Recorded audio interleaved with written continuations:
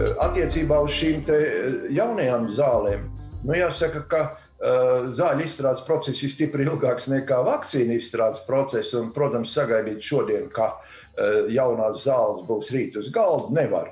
Bet tas, ko es tomēr gribētu rosināt mūsu valdību, nu, mēģināt atrast šos risinājumus, ka arī Latvijā mēs drīkstam ražot šīs zāles, kādas šobrīd ir Eh, mēs iepērkam, eh, lai eh, palīdzētu mm, koronavīrus pacientiem, piemēram, remdesivīrs un arī dažas citas ir zināmas pasaulē.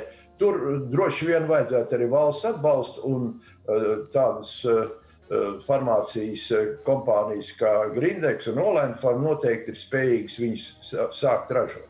Uh, šī nepieciešamība ražot zāles pašiem Latvijā, tas uh, birokrātiskais process ir ļoti ilgs, vai tur pietiktu ļoti ātri, ja valdība iejauktos un ar uh, Eiropas teiksim, kaut kādām speciālām atļaujām šajā ārkārtējā situācijā.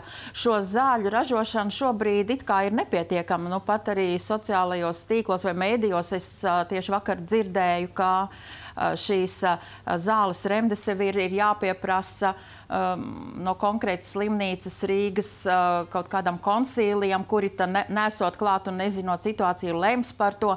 T tas nozīmē, ka ir maz, vai tas nozīmē, ka šis preparāts ir ļoti dārgs? Nu, pirmkārt, dārgs, nu, ko nozīmē ļoti dzīvība, vienmēr ir dārgāka par uh, naudu.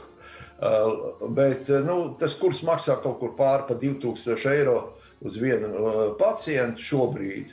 Uh, protams, ja tās zāles ražot Latvijā, tas varētu būt stipri, stipri mazāki izdevumi. Un varbūt tiešām var nopirkt licenci, uh, kas atļautu mums pašiem to darīt. Un Latvijas zinātnieki ir spējīgi ļoti ātri eh, šādus procesus novest līdz uh, rūpnieciskai ražošanai. Jā, bet uh Ra ražošanas uh, industrijā, kur to varētu ražot, visi nepieciešamie un attiecīgie augstas kvalitātes iekārtas, visas tās mums Latvijā ir, ja? Tā es saprotu. Tas viss, paldies Dievam, ir pieejams, un arī eh, tehnologi mums ir izcili un zinātnieki tāpat. Eh, mums nav problēmas apgūt jebkuras eh, ķīmiskas zāļu vielas ražošanu Latvijā.